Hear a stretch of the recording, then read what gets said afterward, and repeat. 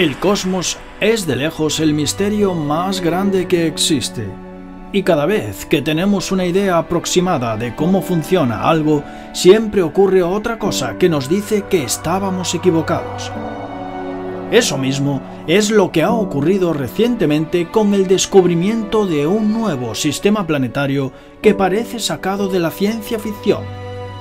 Pues científicos han hallado cuatro planetas gaseosos enormes allí, y dicho sistema es demasiado joven, lo cual no debería de ser posible y desafía todos los modelos planetarios conocidos.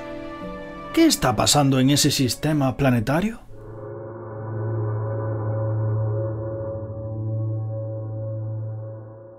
Buenas a todos y bienvenidos de nuevo a Atraviesa lo desconocido.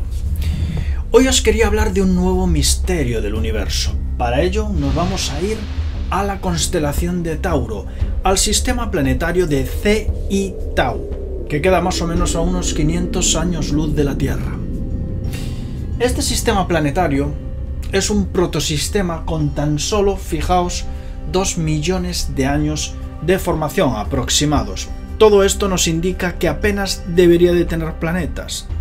Al ser tan joven, evidentemente, solamente debería de tener un disco de gas y polvo rodeando una estrella en formación. Los planetas gigantes gaseosos tardan más en formarse en un sistema planetario. De hecho, siempre se ha creído que forman primero un núcleo sólido y luego acumulan gas en el exterior. Un proceso muy pero que muy lento y más lento aún a largas distancias de la estrella.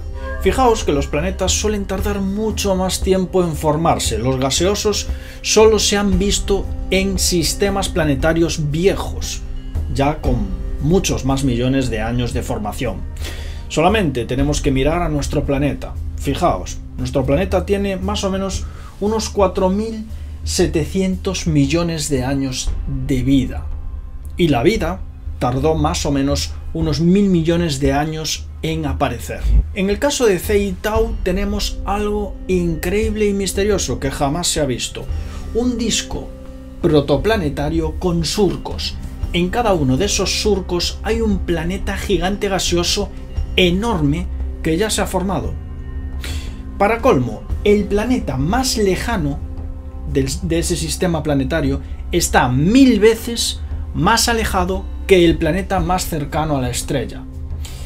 Y además los planetas no difieren tanto en tamaño y en composición, es decir, son bastante similares, aunque los dos interiores son bastante más grandes que los dos exteriores.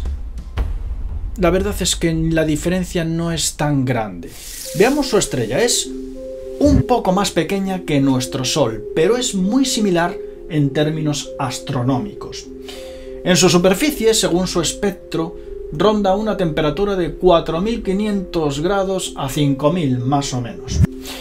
Luego tenemos eh, muy cerquita a 0,07 unidades astronómicas, muy cerquita, CI Tau B, que es este planeta que bueno, que ya fue descubierto en el año 2016 y más o menos es unas 12 veces más masivo que el conocido planeta Júpiter. De hecho, a este tipo de planetas se le suele llamar Júpiter caliente porque tienen temperaturas muy elevadas.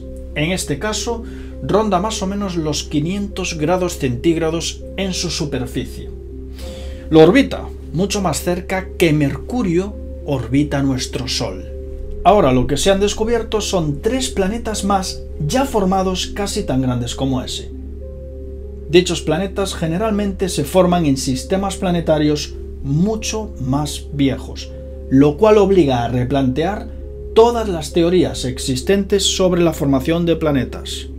El descubrimiento ha sido realizado por investigadores de la Universidad de Cambridge, que usando la red de radiotelescopios y telescopios del Observatorio ALMA en Chile, hallaron esos huecos en el disco protoplanetario que nos indica que ahí hay un gran planeta.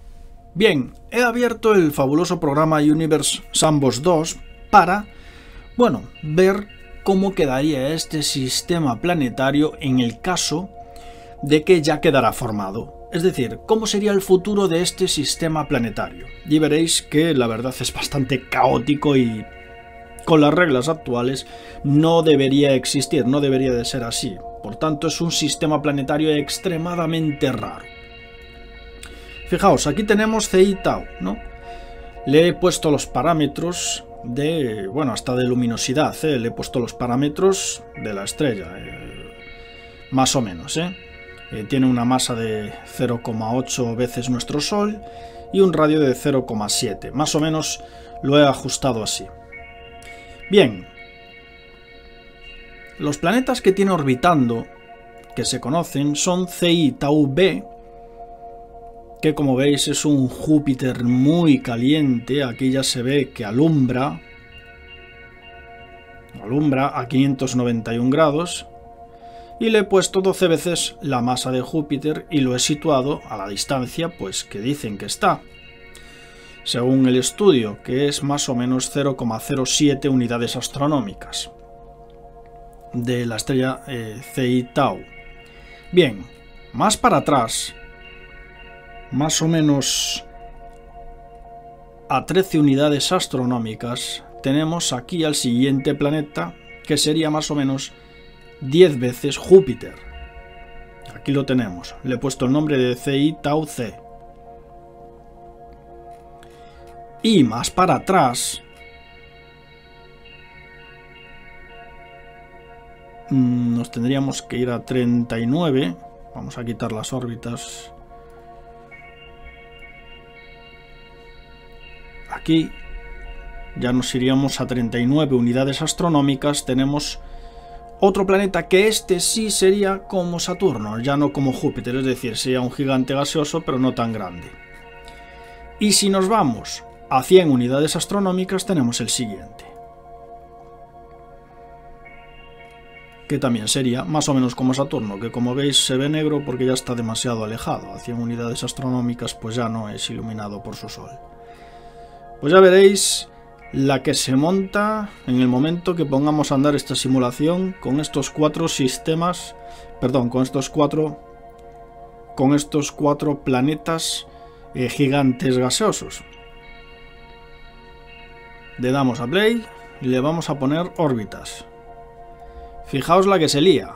Es decir, son órbitas que para nada son estables. Varían eh, con el tiempo. Y si os fijáis, se pasan de ser muy excéntricas a muy poco excéntricas, vamos, en, cuestión de menos de un año. ¿eh? Como veis, aquí no está avanzando apenas nada.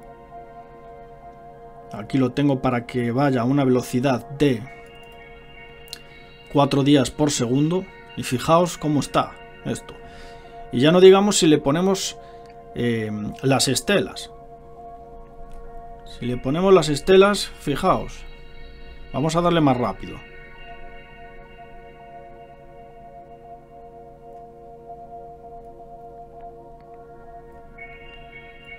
Vamos a darle más rápido. Fijaos cómo hace.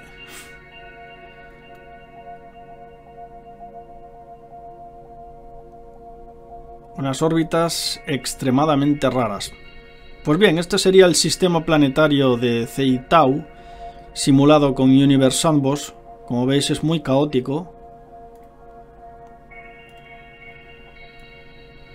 Esta órbita ya ni siquiera la simula. Y ojo, porque no se descartan planetas como la Tierra en este sistema planetario. Imaginaos aquí la Tierra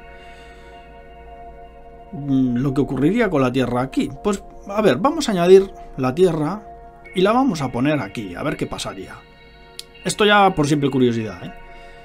Vamos a añadir la Tierra a la misma distancia que tenemos aquí en nuestro sistema solar, es decir, a una unidad astronómica, ¿vale? A ver qué pasaría con la Tierra. Y la vamos a poner ahí a girar.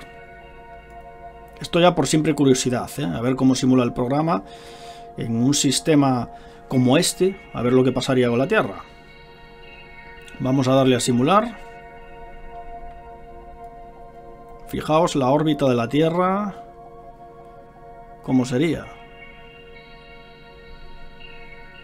Pero bueno, la gran pregunta es, ¿habría vida en la Tierra un sistema planetario tan raro como este? Vamos a verlo. Aumentamos la Tierra. Vamos a darle que pase el tiempo más rápido. Vamos a darle a que para que pasen unos miles de años.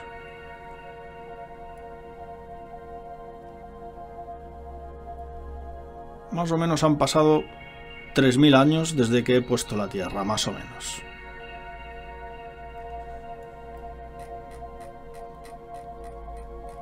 Vamos a ver qué órbita tiene.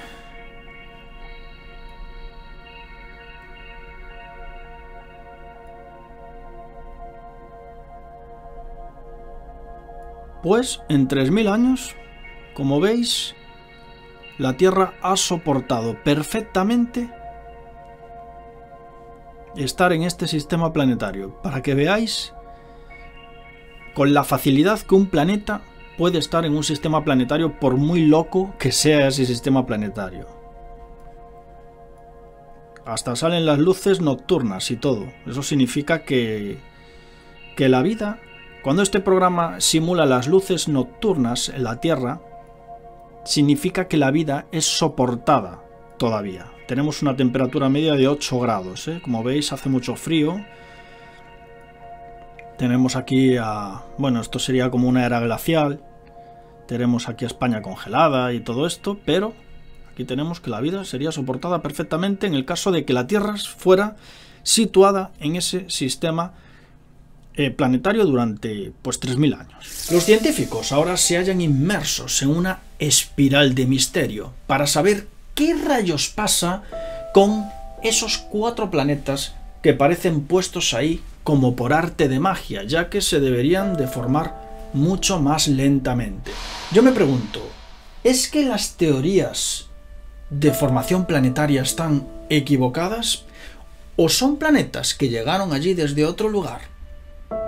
¿Cómo se pudieron formar planetas tan grandes y tan rápido? Por lo de pronto solo tenemos preguntas, yo diría que sin respuesta. Pero lo que sí se espera es que con grandes telescopios que se van a construir, como el telescopio extremadamente grande, u otros telescopios que se van a lanzar al espacio, como el James Webb, podamos descubrir y desentrañar nuevos misterios como este. Muchas gracias por estar ahí nos vemos como siempre aquí, en Atraviesa lo desconocido.